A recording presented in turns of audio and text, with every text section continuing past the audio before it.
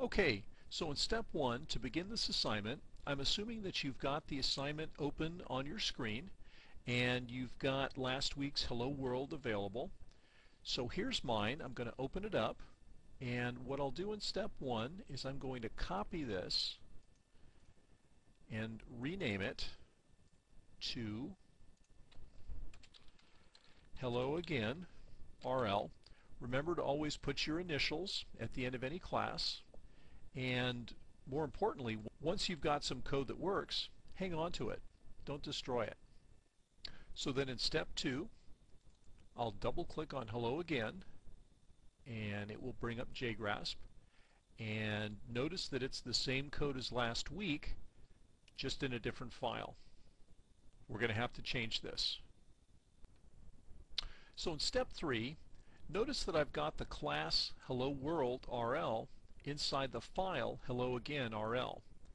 There has to be a one-to-one -one match between the name of the class and the name of the file it's contained in. So what I'm going to do is I'm going to select Hello World RL by double clicking on it and then I will do edit find replace and I'm going to replace all instances of Hello World RL with Hello Again RL and that's going to change it here and the file name in the header block. So I'll just do a replace all and notice that those changes have been made for me. Next, I'll update the header block. I'll advance the date and I will update the purpose of this. So I'll say refactored Hello World Java application. Now uses a utility class. And at this point oh we've got one more step. And we want to gut this program by eliminating this print greeting method entirely. And we will also gut the contents of the main method. So at this point our code should look like that in the handout. And it does. So what this represents now is an empty application shell. And we'll begin refilling this with code. But now in step four before we make any more changes, let's remember to save, and that star went away, and we'll try to compile. And we compile cleanly, so this tells us that we haven't introduced any errors. And we can try to run this, but it's not going to do anything interesting yet because there's no code to be found. Next, in step 5, let's create the empty shell for that new utility file. So we'll do File, New, Java, and we'll create a second file and we will save that right away as hello RL dot and it'll put a dot Java on there automatically. We'll save it and let's take a look at our browser here and we can see that we've got that new utility class here. So next in step 6 Let's create the empty class shell for the hello class. And we're going to cheat a little bit this time because we're going to copy and paste a header from another file since its basic structure is always the same. So we'll change the file name. The date is already correct and we'll change the purpose here a little bit. This is the utility class component.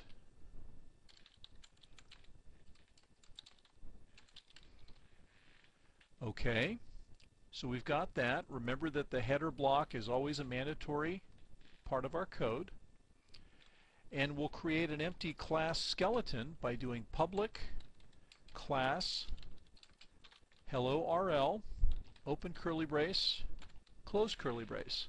See how quick and easy that was when we used some existing code as a template? So at this point your code should resemble that in the handout in step 6 and we will save that, compile it, and we have not introduced any errors so we're good to go.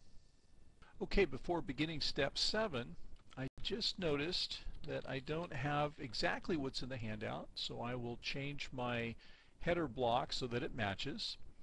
And now in step 7 what we'll do is we'll start sketching out the rough outline of this new class with some pseudocode. Pseudocode can be used to create the rough draft of a program without actually having to write the details yet. So what we'll do is we'll put in a few comments of what we want to do in advance of actually doing it. So I'll write this about instance variables, what the class is. Constructor.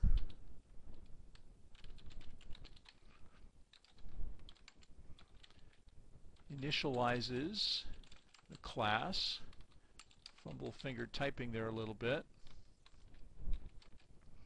And methods. What a class does so this is an example of pseudocode and these are all a different form of comment. These are single line comments and they begin with two slashes as opposed to this multi-line comment uh, which was this form in our header block. So now we've got the rough draft of our new class.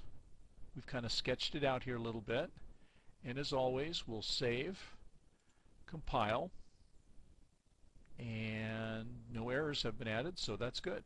So in step 8 we'll flesh out our class a little bit more by creating some interfaces to all of the methods that we need. An interface is just an input-output description for a method. Um, it represents a contract with a client application. It says if I give you these things, you'll give me this or do such and such for me. So again, a method is a container for instructions and we'll use pseudocode to kind of lay this out. So here for the constructor, we'll do public hello RL, open and close parentheses, open and close curly braces. Okay, and notice that as before, we've got a four space indentation inside the class. And then let's put down some interfaces for some additional methods. So here's one that will print a greeting given first and last names. And that will be our public void print greeting. Open close curly brace and no, notice I'm leaving a little bit of white space in here to put some contents in another step and then we'll have another method that will update the first name. Typing's a little off today. And we'll call that one public void set first name and it's going to expect to receive a string. And again that capital S is important. String first open brace, closing brace, and then we'll do the same thing for the last name. And actually, I think what we can just do here is we will copy and paste this. And just update first with last.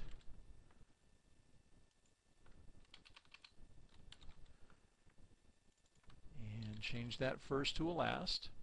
And so now what we've got is we've got some empty shells for all our methods. These are the interfaces to the methods. These are empty methods. We'll fill in the guts of them later. But now we've taken another step toward outlining the basic structure of our code. So as always, we'll save and compile. And since we haven't introduced any errors, we're good to go. and we will make this match what's in step 8.